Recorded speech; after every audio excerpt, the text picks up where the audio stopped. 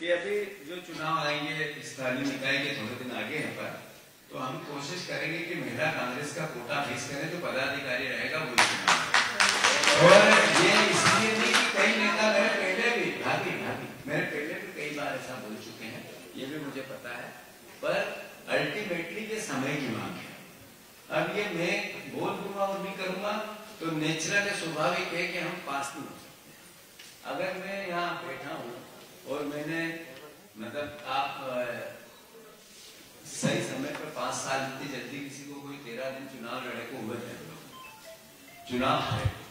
और मैं पंद्रहवें दिन यहाँ पे पाला है पंद्रहवें दिन जब इतना बड़ा जनसेना आप लोग संज्ञा थे, कांग्रेस के अंदर बहुत बहुत आग है, बहुत तकलीफ़ है, बहुत जो चुनाव आ रहे हैं, उससे बहुत परेशानी है। और कई लोग जो घर में उनको भी परेशानी है, आप लोगों को भी है। कई जो बाहर है, उनको परेशानी निराश है, हताश है, दस तरह की बातें हैं। हमारे बीच में निर्मला, हमारी छोटी बहन है ये यूथ कांग्रेस की मेरे साथ पदाधिकारी थी, सचिव। अभी विधायक है, आपकी महिला कांग्रेस की ये जो लोग, जो बहनें नहीं बोल पाई है, उनको ये एहसास होना चाहिए कि विधायक भी है तो भी नहीं बोल पाई है। तो मैं आप सबसे अनुरोध इतना ही करना चाहता हूँ कि मैं परिवार का भाई हूँ। और अब आप लोगों की ड्यूटी क्या है, पता है आपको? शिवराज भैया ने कहा कि तीन हज़ार रुपए तक मैं बहनों को लाडली बहना के रूप में दूँगा। और भैया चले गए। क्या कहे? भैया चले गए। तो अब हमारी बहनों की, मेरी कांग्रेस की ड्यूटी क्या है? उन बहनों की रक्षा करें। तीन हज़ार रुपये दिलवा, जिसके नाम पर उन्होंने वोट लिया। सही है इतना बड़ा प्रोग्राम फिर मेरा अनुरोध इतना था कि जैसे हम सब परिवार के लोग चार सौ पचास रुपए में हम गैस सिलेंडर हमने कहा था। अभी मुझे किसी ने कहा कि वो ऐसी योजना बना रहे ये कर रहे वो कर रहे कोई योजना नहीं बना ये चार सौ पचास रुपए एक प्रदेश में भारतीय जनता पार्टी नहीं कर सकती, करेगी तो देश में। अगर कर देगी तो बहुत बड़े, ये भी बहनों से जुड़ा हुआ मुद्दा है। महँगाई, जो हम बात करते हैं, अल्टीमेटली तो सबके सब पे असर आता है। पर महिलाओं को ज़्यादा असर आता है। ये लाडली महिला क्यों चली? क्योंकि बारह सौ रुपए एक बहन को मिल गए तो उसके लिए बहुत बहुत असरदायक होगी कि कम से कम हम एक एक दस दस बीस बीस पच्चीस पच्चीस रुपए घर के राशन में से बचा के डिब्बे में डालते हैं। और वो इकट्ठा करते हैं, बारह सौ रुपए नहीं पूरे महीने में नहीं होते हैं, कई परिवार ऐसे होते हैं। पर वो एकदम से आगे मजदूरी करने वाले तो मिडिल क्लास होते हैं थोड़ा तो वो एकदम से बारह सौ बारह सौ तो उनके जमा साल के पंद्रह हज़ार रुपए पर जमा होने लगे। पंद्रह हज़ार की राशि में कम से कम मंगल सूत्र तो बना लूँगी ये विचार तो आया ही होगा उसको। सही है, गलत है? कितनी बहनें यहाँ उपस्थित है और हम जब फ़ील्ड में जाते हैं तो जो पहले चलन था, आपके बड़े जब मेरी दादी और मेरी मम्मी थी, उस समय चलन था कि हम साल भर में महिला एक सोने की कुछ कुछ रकम वकम बनाती थी कि वो बना ले तो कम से कम कहीं संकट अंकट में काम आ जाए। आप आप नहीं बनाती। अब तो आर्टिफिशियल देखती है, पैसे नहीं है। सही है गलत है? सब कहते हैं चलो सोने जैसी तो दिखती है यार। पर वो जो सोना था वो दिखने से असर नहीं था वो पूंजी थी जो समय पे काम आती तो वो महिलाओं को बचत की प्रवृत्ति के लिए आकर्षित करती थी। तो अब आर्टिफिशियल पे बहुएँ बहने डिपेंड हो गई। क्यों हो गई? क्योंकि ये सच है इसको हम नजरअंदाज नहीं कर सकते। ये एहसास जो मतलब मुझे नहीं पता। आप लोगों में से कितना पता होगा? मेरी दादी थी पहले। इसकी मज़ाक नहीं करना है। शुरू शुरू में गैस की टंकी है। गैस का सिलेंडर आया, बहुत पहले आ गया था। तो जैसे बहुत गाँव में एक दो घर गैस सिलेंडर आते थे। तो बहुत सब जगह नहीं होते ग्रामीण परिवेश के कौन कौन इतने सही है तो गैस के सिलेंडर में दादी बाहर बैठी रहती थी, वो कहती थी, बंद कर दे, पंद्रह दिन में टंकी नहीं चल रही कहते थे कि नहीं कहती थी? तो ये एहसास घर घर में था। और ये महँगाई में अब भी है तो मैं आप सबसे अनुरोध करना चाहता हूँ ये बात मैंने इसलिए बोली कि मैं आपकी भावनाएँ समझता हूँ और मैं आप जैसा हूँ। मेरी बहनों का आशीर्वाद को मिलेगा कि नहीं मिलेगा मुझे?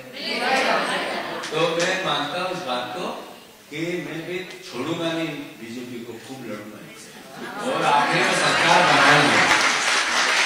आखिर में हम सरकार बनाएँगे।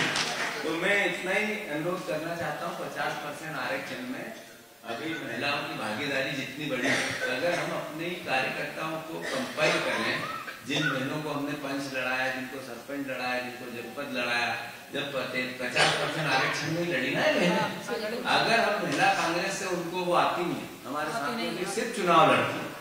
तो नेचुरल स्वाभाविक है उनको हम कैसे लाइन अप करें हमारे साथ? उसके लिए क्या प्रोग्राम बनाए?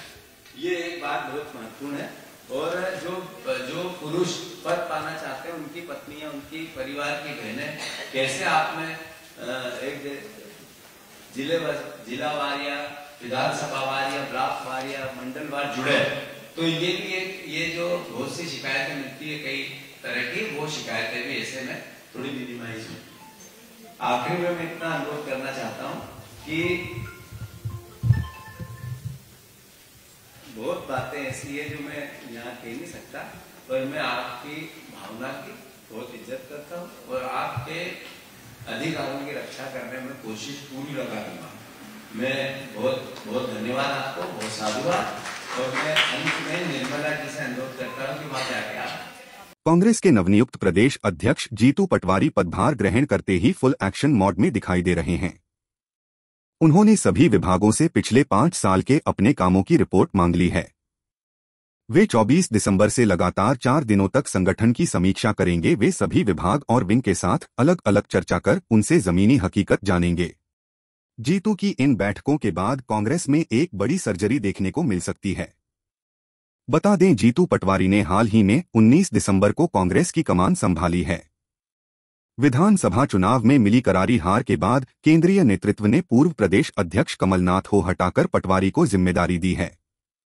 प्रदेश कांग्रेस कार्यालय में आयोजित की गई ये बैठकें दो चरणों में होंगी। प्रत्येक दिन दो अलग अलग विभागों की बैठक होगी। जहाँ एक विभाग की बैठक सुबह 11 बजे से दोपहर एक बजे तक होगी तो वहीं दूसरे विभाग की बैठक दोपहर दो बजे से शाम पाँच बजे तक होगी। पहले दिन 24 दिसंबर को आज महिला कांग्रेस और युवा कांग्रेस की बैठक हो चुकी है। इसके बाद दूसरे दिन 25 को एनएसयूआई और सेवा दल की बैठक होगी। तीसरे दिन 26 को जिला अध्यक्ष, प्रभारी और प्रदेश पदाधिकारियों के साथ बैठक करेंगे। चौथे और अंतिम दिन 27 दिसंबर को सभी विभाग और प्रकोष्ठ के प्रदेश अध्यक्षों के साथ बैठक होगी। संगठन बैठक के बाद पटवारी प्रदेश का दौरा करेंगे। लोकसभा चुनाव में पार्टी को अधिक से अधिक सीटें मिले नए प्रदेश अध्यक्ष की प्राथमिकता में है। वर्तमान में कांग्रेस के पास प्रदेश में 29 में से सिर्फ़ एक ही सीट है।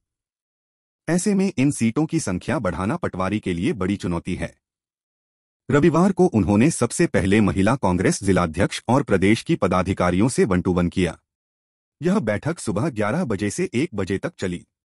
इसके बाद यूथ कांग्रेस के पदाधिकारियों से चर्चा की। युवा कांग्रेस की बैठक में जीतू ने यूथ वोटर्स पर ध्यान रखने की पर ज़ोर दिया।